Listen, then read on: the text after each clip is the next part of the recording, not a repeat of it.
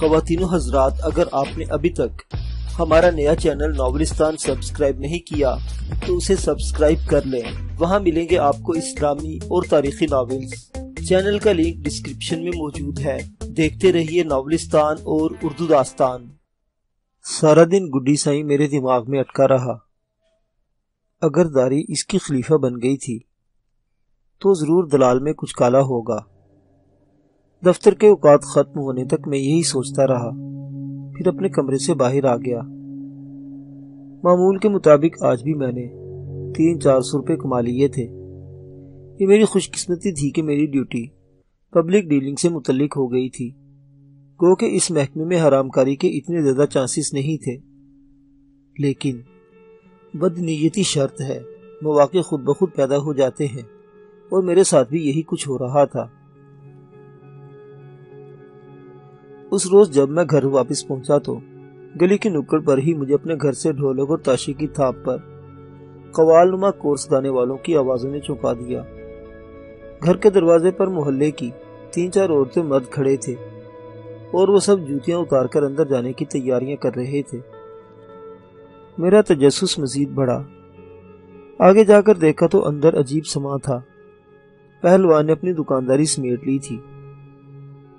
اور وہ سارے کمرے میں اگر بتیوں کی خوشبو پھیلی ہوئی تھی۔ کمرے کے درمیان لگے موٹے سے شہتیر پر تازہ پھولوں کے ہار بندے تھے۔ پھلوار کے ایک کونے میں موجود نواڑی پلنگ پر نیا کھیس بچھا ہوا تھا، جس پر ایک درمیانی عمر کے پیرساہی پراجمان تھے۔ یہ گڈی سائی تھا۔ اس کے بالوں کی لٹے کندھوں پر پڑ رہی تھی۔ آنکھیں شاید کسی نشے کے اثر سے سرخ ہو رہی تھی اور داڑھی کے بال الجھے ہوئے تھے۔ لیکن ان میں باقاعدگی دکھائی دے رہی تھی۔ یہ لگتا تھا جیسے کسی اداکار کو میک اپ کر کے بٹھوا دیا گیا ہو۔ گڈی سائی نے سبز رنگ کا ریشمی لمبا سا کرتا پہن رکھا تھا۔ دونوں ہاتھوں کی انگلیاں مختلف انگوٹھیوں سے بھری ہوئی تھی آنکھوں میں سرما رنگ بہار دکھا رہا تھا۔ جبکہ گلے میں خوبصورت منکوں کی مالا۔ اور دونوں کندھوں پر بڑے سلیقے سے گہرے سرخ رنگ کا ریشمی رومال رکھا تھا۔ سر پر اس نے کیلنڈروں پر بنی بزرگوں کی تصویر جیسی ٹوپی پہن رکھی تھی۔ اس کی طرف دیکھ کر پہلی ہی نظر میں مجھے لگا تھا کہ عموماً عرس وغیرہ کے جو اشتہارات چھاپ کر دیواروں پر چپسا کیے جاتے ہیں، اس پر ایسے ہی بزرگوں کی تصاویر بنی ہوتی ہے۔ پاکھنڈی۔ میرے دل سے پہلی آواز اٹھی۔ السلام علیکم سائیں جی۔ السلام علیکم سائیں جی۔ دائیں بائیں سے یہی آوازیں بلند ہو رہی تھی۔ ہر آنے والے دروازے پر ہی جوتی اتار دیتا۔ اور نیاز مندی کے انداز میں جھک کر گڈی سائیں تک پہنچتا تھا۔ قریب آنے پر گڈی سائیں جس کی آنکھیں کسی نشے کے اثر سے خوابیدہ سی ہو رہی تھی، اپنا ہاتھ آگے بڑھا دیتا اور آنے والا اس کو بیوقوفوں کی طرح چومنے لگتا۔ میں تو شاید دروازے میں سے اس پاکھنڈی پر لانت بھیج کر اوپر چلا جاتا، لیکن برا ہوا۔ اس سانولی رنگ والی، اکیرے بدن اور سیاہ آنکھوں والی میراسن کا، جس نے میرے قدموں کو اپنی جگہ یوں جما دیا، جیسے کبھی کبھی تماشا دکھانے والے مداری کوئی منتر پڑھ کر اپنے مقابل کو باندھ دیا کرتے ہیں۔ اپنی آواز یا گلے کا سر برقرار رکھنے کے لیے شاید اس نے پان کھایا ہوگا۔ جس کی لالی ابھی تک اس کے ہونٹوں اور دانتوں پر موجود تھی۔ اپنے سامنے ہارمونیم رکھے، وہ اندھوں کی طرح ٹٹول ٹٹول کر قوالی کی دھن بجا رہی تھی۔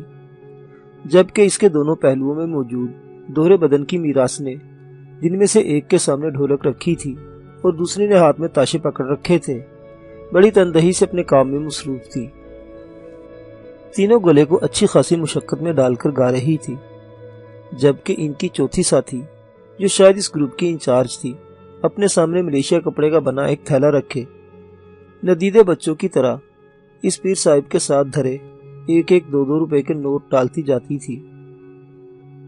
جب کبھی جب اسے احساس ہوتا کہ اس کی پارٹی والوں کی آوازیں مدھم پڑنے لگی ہے تو ان کا حوصلہ بڑھانے یا پھر جوش دلانے کے لیے ایک آدھ بیسوری تان لگا دیتی۔ یہ تان باقی تینوں پر تازیانے کا کام کرتی۔ اور وہ زیادہ جوش و خروش سے گانے لگتی۔ کمرے میں اس ساملے رنگ کی میراسن کے علاوہ بھی محلے کی دس بارہ نوجوان لڑکیاں موجود تھیں۔ خدا جانے میری نظریں بار بار اس کے سراپے پر کیوں گڑ جاتی تھی گرمیوں کا موسم تھا۔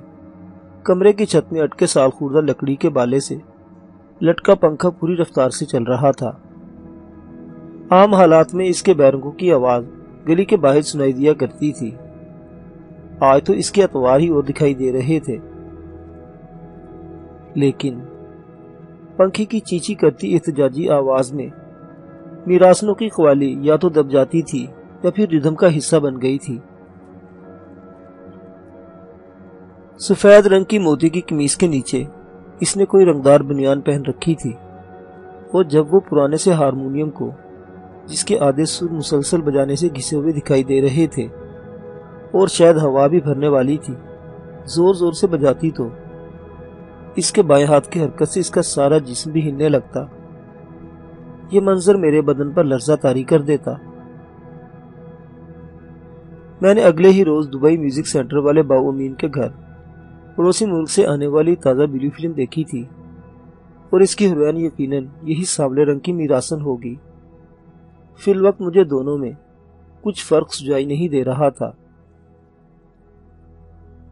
میں ابھی تک دروازے میں کھڑا تھا۔ خدا جانے کس ندیدہ قوت نے میرے ہاتھوں کو اپنی جگہ سے جنبش دی اور میں سامنے رنگ والی میراسن کی گربان سے نظریں ہٹائے بغیر میں نے اپنے دونوں جوتے اتار دیے۔ دوسروں کی دیکھا دیکھی میں نے بھی گڈی سائی کے منحوس ہاتھوں کو جالی بوسا دیا۔ اور دینوں پہلوان کے نزدیک آلتی پالتی مار کر دری پر بیٹھ گیا۔ چیختی چنگاڑتی میراسنوں کو لوگ عموماً ایک ایک دو دو روپے والے نوٹ گڈی سائی کے ہاتھ لگوا کر دیتے تھے۔ میں نے ایک لمحے کو اف کیے بغیر اپنی جیب سے دس روپے کا نوٹ نکالا اور اپنے دونوں ہاتھوں سے تھام کر گڈی سائی کی طرف جھکتے ہوئے بڑھا۔ گڈی سائی نے ایک لمحے کے لیے اپنی پوری آنکھیں کھول کر میرے ہاتھ میں چھپے، نوٹ کا جائزہ لیا۔ اور میرے دونوں ہاتھوں پر اپنا ہاتھ رکھ دیا۔ میں نے اس کی طرف دیکھے بغیر اپنا رخ بدلا۔ اور دس روپے کا نوٹ ادھیڑ عمر کی موٹی سی میراسن کے سامنے پہلے ملیشیا رنگ کے میلے سے کپڑے پر رکھنے کے بجائے ساملے رنگ کی میراسن کے سامنے دھرے ہارمونیم پر رکھ دیا۔ دس کا نوٹ دیکھ کر ایک لمحے کے لیے اس کی سیاہ آنکھوں کی چمک پہلے سے دو چند ہو گئی۔ اس نے ایک نظر میری طرف دیکھا۔ ہم دونوں کی نظریں چار ہوئی اور ایک مسکراہٹ اس کے ہونٹوں پر جم گئی۔ حال نہیں میرا پیا گھر آیا کی تکرار کرتے ہوئے اس نے بایاں ہاتھ ہارمونیم سے الگ کیا اور برق رفتاری سے نوٹ اٹھا کر اپنے گریبان میں اڑس لیا۔ نوٹ کو اپنے گریبان تک منتقل کرنے کے لیے وہ قدر آگے کی سمت جھکی اور میرے ذہن میں باؤ امین کے گھر اگلے روز دیکھی ہوئی ساری فلم چل گئی۔ اچانک ہی مجھے یوں لگا جیسے میرے بدن کے سارے رونگٹے کھڑے ہو گئے ہوں، جیسے میرا دوران خون اچانک بہت تیز ہو گیا ہو، اور جیسے میری شریانوں میں تپش رینگنے لگی ہو۔ اس کی جہادیدہ نظروں نے شاید میرے اندر اٹھتے طوفان کا نظارہ کر لیا تھا۔ اپنی گردن کو ہلکا سا خم دے کر اس نے میرا شکریہ ادا کیا، اور دوبارہ اپنے کام میں جت گئی۔ میں تو شاید پتھر کا بت بن گیا تھا، لیکن اچانک ہی دروازے سے والد صاحب کی کرخت آواز نے مجھے چونکا دیا۔ حنیف! انہوں نے اتنی زور سے کہا کہ بے اختیار وہاں موجود تمام لوگوں کی نظریں اس طرف اٹھ گئی میں کسیانہ سا ہو کر اٹھ کھڑا ہوا۔ شاید ساملی رنگت والی میراسن کو میرے والد صاحب کی یہ مداخلتیں بیجا پسند نہیں آئی تھی میں نے اپنی جگہ سے اٹھتے ہوئے اس کی سیاہ رنگ والی اگہری آنکھوں میں ہلکا سا احتجاج دیکھ لیا تھا۔ دروازے تک ہم دونوں ایک دوسرے کو دیکھتے رہے۔ پھر میں اپنے جوتے پہن کر بادل نخواستہ اوپر جانے والی سیڑھیوں کی طرف گھوم گیا۔ کیا کر رہے تھے یہاں؟ والد صاحب نے میری پشت پر اپنی زہریلی آواز کا کوڑا برسایا۔ جھک مار رہا تھا۔ میں نے جلے کٹے لہجے میں جواب دیا۔ کبھی تو ڈھنگ سے بول لیا کرو۔ چار پیسے کیا کمانے لگے ہو؟ تمہارا تو دماغ ہی خراب ہو گیا ہے۔ والد صاحب نے احتجاج کیا۔ ابا جی دو گھڑی قوالی سننے کو رک گیا تھا۔ اور کیا کر رہا تھا؟ میں نے اپنا جواب مکمل کیا۔ لا حول ولا قوہ اب ایک گدے کہیں کے دینوں کا تو دماغ خراب ہو گیا ہے۔ تجھے کیا ہو گیا؟ انہوں نے مجھے سمجھانے کے انداز میں کہا۔ میں ساولے رنگ اور گہری سی آنکھوں والی میراسن کا سراپا آنکھوں میں سجائے چار پائی پر ڈھیر ہو گیا۔ خدا جانے ان لوگوں نے کیا تماشا لگا رکھا ہے یہاں۔ والد صاحب پھر بڑبڑائے ابا جی ہمیں دوسروں کے معاملات میں مداخلت کا کیا حق حاصل ہے؟ میں نے والد صاحب کے انداز میں پہلوان کی وکالت کر دی۔ اچھا اب تم مجھے اخلاقیات پڑھاؤ گے۔ والد صاحب نے حسب معمول اگلے لیکچر کی تمہید باندھی اور پھر بولتے چلے گئے۔ والد صاحب کے خطاب اور میراسنوں کی قوالی کا خاتمہ ایک ساتھ ہوا تھا، کیونکہ اب نیچے سے صرف لوگوں کی بولنے کی آوازیں آ رہی تھی میرا دل دھک سے رہ گیا۔ کہیں بلو فلم کی ہیروئن چلی تو نہیں گئی؟ میں نے سوچا۔ اور دوسرے ہی لمحے بظاہر یا تاثر دینے کے انداز میں کہ میں حسب سابق والد صاحب قبلہ کے لیکچر سے بور ہو کر بطور احتجاج باہر جا رہا ہوں، سیڑھیوں سے نیچے اتر گیا۔ جہنم میں جا، الو کے پٹھے۔ ابھی تجھے میری باتوں کی سمجھ نہیں آئے گی۔ والد صاحب کی آواز میں اپنے تعقب میں سنائی دی۔ میں ایک مرتبہ پھر آخری سیڑھی پر اس طرح کھڑا تھا کہ دائیں ہاتھ کھلے دروازے سے صرف میراسنے ہی مجھے دیکھ سکتی تھی اور میں ان کو دیکھ سکتا تھا۔ میراث نے اپنی دکان بڑھا رہی تھی۔ ادھیڑ عمر اور دوہرے بدن والی میراسن جس نے نوٹ اکٹھے کیے تھے، اب ملیشیا رنگ کے اس غلاف میں ہارمونیم باندھ رہی تھی۔ بلیو فلم کی ہروین اٹھ کر کھڑی ہو گئی۔ اس کا دوپٹہ ابھی تک زمین پر دھرا۔ اب وہ اسے جھک کر اٹھا رہی تھی۔ این ان لمحوں میں پھر ہماری نظروں کا ٹکراؤ ہوا۔ مسکراہٹ اس کے سارے چہرے پر پھیل گئی۔ دوپٹہ اٹھا کر اس نے لاپرواہی سے اپنے شانوں پر پھیلایا۔ وہ میری طرف کنیکھوں سے دیکھتی تن کر کھڑی ہو گئی۔ اس کا مکمل سراپا میرے سامنے تھا۔ یوں لگتا تھا جیسے وہ کسی سانچے میں ڈھلی ہو۔ پاؤں کے ایڑیوں سے سر کے بالوں تک۔ اس کا سارا بدن کسی سنگ تراش کا شہکار یا پھر کسی آرٹسٹ کا کمال کے فن دکھائی دے رہا تھا۔ یوں لگتا تھا جیسے فائن آرٹس کے کسی ذہین طالب علم نے مقابلے میں رکھنے کے لیے کوئی پینٹنگ بنائی ہو۔ مجھے اپنے پچھواڑے میں موجود حویلی دھیان سنگھ کی دیواروں میں گڑی، وہ تصویریں یاد آ گئی، جو شاید کسی مہاراجا نے بطور خاص اپنے محل کی دیواروں پر کندہ کروائی تھی۔ جیسے نیرت بھاؤ، ان تصویری نرتکیوں میں دکھائی دیتے تھے۔ اسی طرح ساولے رنگ کی وہ میراسن بھی منی ایچر کا شہکار بنی کھڑی تھی۔ کسی سہر زدہ معمول کی طرح میں آخری سیڑھی سے اتر کر دروازے کے این سامنے آ کھڑا ہوا۔ دوہرے بدن والی موٹی میراسن گڈی سائی کے سامنے دونوں ہاتھ باندھے شاید اسی سے ازن رخصت لے رہی تھی۔ چل پتر نوری۔ اس نے اپنے بدن سے لٹکے گوشت کو سلیقے سے گھما کر سامنے رنگت والی بلیو فلم کی ہیروین سے کہا، جس کا نام نوری تھا۔ لیکن جو نوری سے زیادہ ناری دکھائی دے رہی تھی، اس کی گہری سے آنکھوں اور جامنی رنگت لے میرے تن بدن میں جو آتش بھڑکائی تھی۔ اس نے بالآخر مجھے راک کر کے ہی چھوڑا۔ سوری نے سمراٹ اور برفی کی کنیز خاص کی طرح گڈی سائی کو سارے شاہانہ آداب بجا لاتے ہوئے کمر کو خم دے کر سلام کیا۔ وہ دروازے کی طرف قدم بڑھایا، جس کے سامنے میں بالکل پتھر کا بت بنا کھڑا تھا۔ نوری کے پہلو میں بیٹھنے والے لچکیلے بدن کی دوسری میراسن نے اپنے ہاتھوں میں اپنی اور اس کی جوتی پکڑ رکھی تھی۔ شاید وہ ابھی تک ان جوتیوں پر ہی پراجمان رہی تھی۔ سلیم شاہی نقلی تلے والا خسا اس نے نوری کے سامنے پھینکا، جس نے میری طرف مکمل مسکراہٹ اچھالتے ہوئے انہیں اپنے بازو میں اڑس لیا اور ایک طرف خم کھاتے ہوئے میرے نزدیک کھڑی ہو گئی۔ وہ میرے اتنا قریب تھی کہ اس کے بدن کی سنو لاہٹ سے مجھے اپنا وجود دہکتا ہوا محسوس ہو رہا تھا۔ اس کے جیب سے لپٹتی کوئی مسی خوشبو میرے مشام جان کو معطر کرنے لگی تھی۔ تینوں موٹی میں راسنے اس کے تعقب میں باہر آ رہی تھی۔ میں ایک طرف ہٹ گیا، چاروں آگے بڑھ گئی اور اب ان تین سیڑھیوں سے اتر رہی تھی جو گلی اور مکان میں رابطہ رکھے ہوئے تھی۔ گلی میں اترنے کے بعد نوری نے میری طرف گردن کو خم دے کر دیکھا اور مجھے یوں لگا جیسے کسی نے مجھ پر اسم اعظم پھونک دیا ہو۔ میں بے اختیار اس کے تعاقب میں چلنے لگا۔ شاید میرا ٹارگٹ نوری میراسن کا آستانہ تھا۔ میں ایک مرتبہ اس کا گھر دیکھنا چاہتا تھا۔ ہم چونکہ اندرون شہر کے رہنے والے تھے اور مجھے یقین تھا کہ وہ بھی ہمارے نزدیکی کسی محلے میں رہتی ہوگی۔ گلی میں پاؤں رکھتے ہی میں عالم ہوش و حواس میں واپس لوٹ آیا تھا۔ میں جانتا تھا کہ یہاں کی دیواروں کے کان ہی نہیں، آنکھیں بھی ہوتی ہیں جو دور دور تک جھانک لیتی ہے۔ نوری نے چلتے چلتے ایک مرتبہ میری طرف دیکھا۔ اور مسکرا کر گردن سیدھی کر لی۔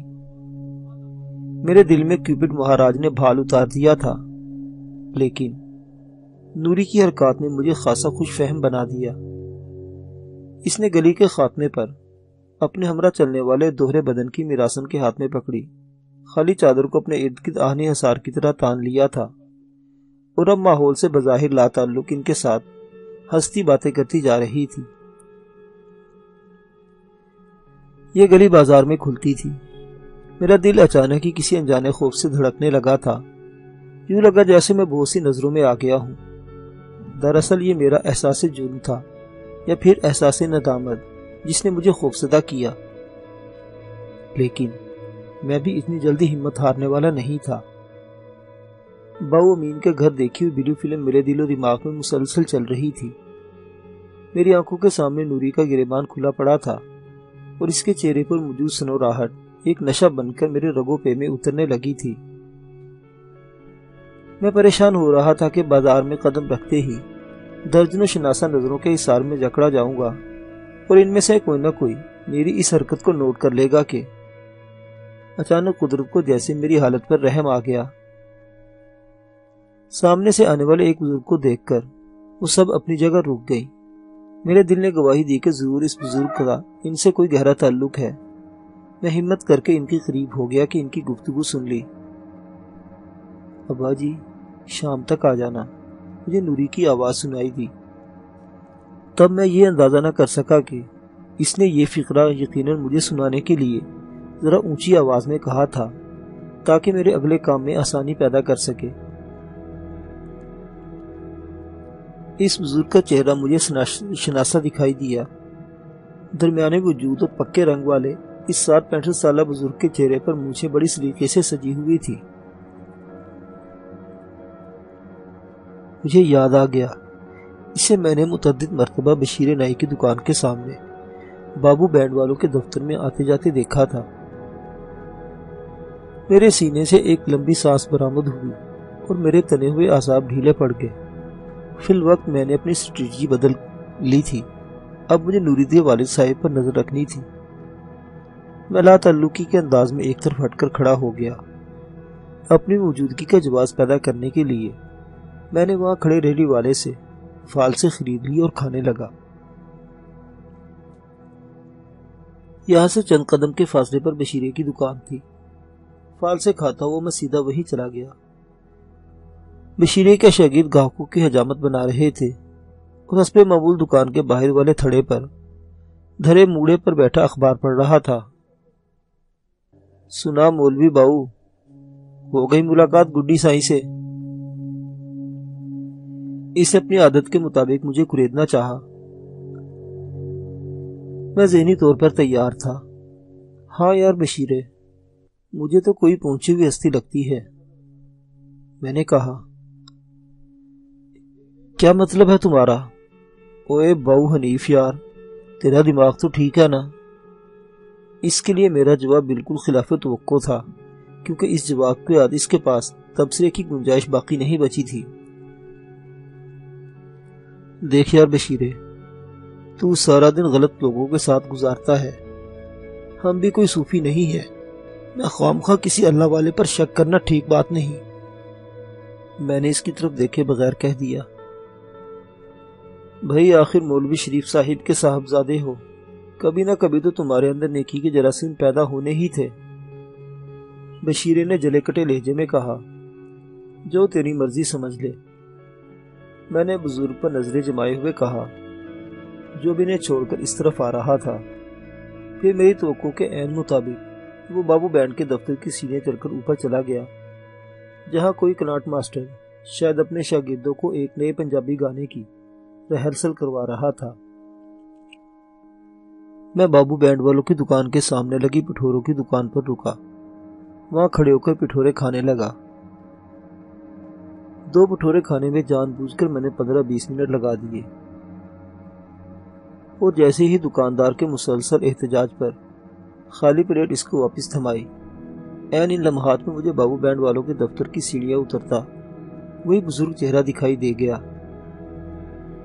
میں نے ایک لمحے کا توقف کیے بغیر اپنے اگلے منصوبے پر عمل پیدا شروع کر دیا۔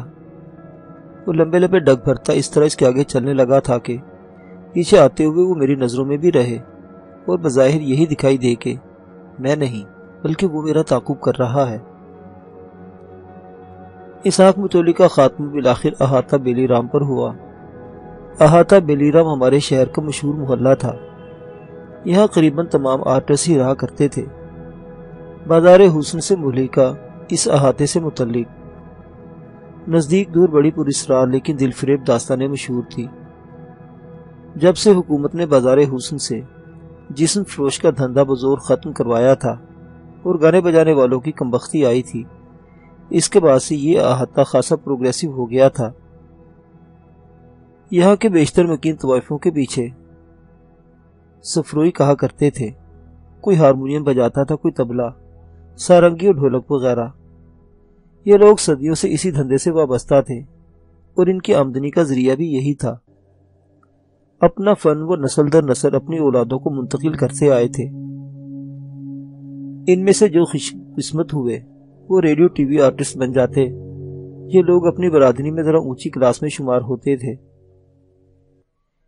اس برادری میں دوسری اہم ترین کلاس اس نوجوان سرزندوں کی تھی، جو میوزک ڈائریکٹروں کے گروپس میں شامل تھے، یا پھر وہ جنہیں اب اپنے میوزک گروپس بنا رکھے تھے۔ ان میوزک گروپوں میں بازار کی دو تین عورتوں کو ضرور رکھا جاتا، جن کا گانا تو شاید اتنی توجہ سے نہ سنا جاتا ہو، لیکن گانے پر وہ جو رقص پیش کرتی تھی، اس پر خاصی داد مل جایا کرتی تھی۔ جب سے بازار حسن زیر اتاب آیا تھا، تب سے استاد لوگوں پر بھی بڑی سختی آ گئی تھی۔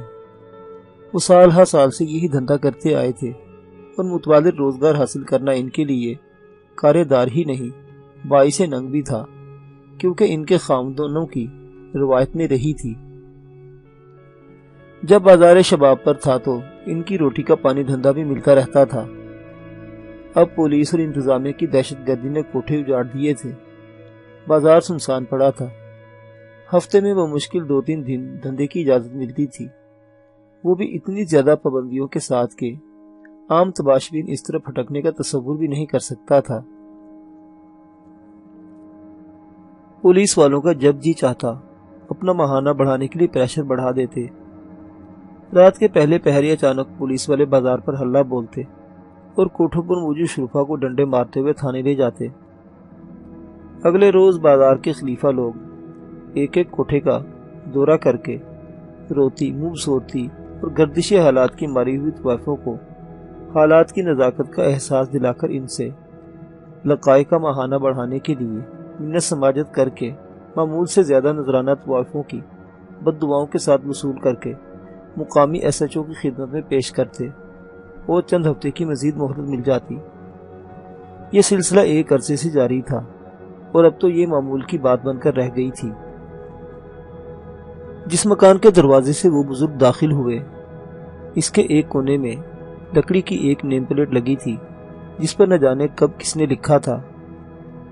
استاد Rang Khan radio T V artist. امتاد زمانہ کے ہاتھوں یہ لکھائی ابھی تک محفوظ تھی۔ یہ الگ بات ہے کہ موسمی تغیر و تبدل نے اس کی دھچیاں اڑانے میں کوئی کسر باقی نہیں چھوڑی تھی۔ تو یہ استاد رنگی خان کا گھر تھا۔ اور نوری اس مشہور زمانہ کلاسیکل گلوکار کی صاحب زادی تھی۔ میں بھی حیران تھا کہ عام میراسیوں کی طرح اس کے گانے کا انداز بھیک مانگنے والا نہیں تھا، اور وہ اپنی گائکی میں بھی منفرد دکھائی دے رہی تھی۔ استاد صاحب کے نام کی تختی پر نام پڑھتے ہی میرے ذہن میں فوراً یہ بات سما گئی کہ میں تو اچھا بھلا گلوکار بن سکتا ہوں۔ مجھے تو اب یاد آ گیا کہ گلی محلے کی شادیوں میں لوگ مجھے سے محمد رفیع کے گانے کی فرمائش کر کے سنا کرتے تھے اور میں پیتل یا لوہے کی تھال میں اس پر رکھ کر اسے ہاتھوں سے بجاتے ہوئے انہیں گلا پھاڑ پھاڑ کر یہ گانے سنایا کرتا تھا۔ لو بھائی حنیف باؤ، فوراً استاد صاحب کی شاگردی اختیار کر لو۔ دیوی درشن بھی ہوتے رہیں گے۔ اور بنجاروں کا پھیرا بھی لگتا رہے گا۔ میرے گمراہ ذہن نے فوراً ہی نوری تک پہنچنے کا نیا راستہ تلاش کر لیا۔